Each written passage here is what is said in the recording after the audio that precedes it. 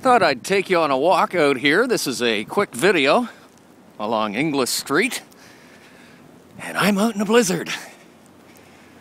Had to run out to the uh, convenience store, which thankfully is only like two blocks away. So, oh yes, winter is here. That's looking east. That's uh, where the wind is coming off the Atlantic right now. She's a doozer. Ho, ho, ho, Merry Christmas.